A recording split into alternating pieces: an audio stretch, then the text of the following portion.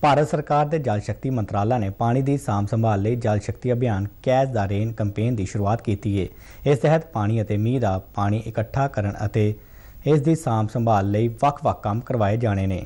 ਇਸ ਬਾਰੇ ਜਲ ਸ਼ਕਤੀ ਮੰਤਰਾਲਾ ਦੇ ਡਾਇਰੈਕਟਰ ਸੁਪ੍ਰਿਯੋ ਘੋਸ਼ ਅਤੇ ਮੰਤਰਾਲਾ ਦੇ ਵਿਗਿਆਨੀ ਬੀ ਐਮ ਪ੍ਰਭਾਕਰ ਨੇ ਅੱਜ ਫਤਿਹਗੜ੍ਹ ਸਾਹਿਬ ਵਿੱਚ ਜ਼ਿਲ੍ਹਾ ਅਧਿਕਾਰੀਆਂ ਨਾਲ ਇੱਕ ਮੀਟਿੰਗ ਕੀਤੀ।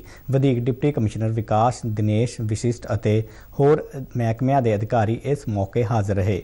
ਉਹਨਾਂ ਸੰਬੰਧਿਤ ਮਹਿਕਮੇ ਦੇ ਅਧਿਕਾਰੀਆਂ ਨੂੰ ਹਦਾਇਤ ਕੀਤੀ ਕਿ ਪਾਣੀ ਦੀ ਸਾਂਭ ਸੰਭਾਲ ਲਈ ਯੋਗ ਉਪਰਾਲੇ ਕੀਤੇ ਜਾਣ ਤਾਂ ਜੋ ਪਾਣੀ ਦੇ ਦਿਨੋ ਦਿਨ ਘਟਦੇ ਪੱਧਰ ਨੂੰ ਸਥਿਰ ਰੱਖਿਆ ਜਾ ਸਕੇ।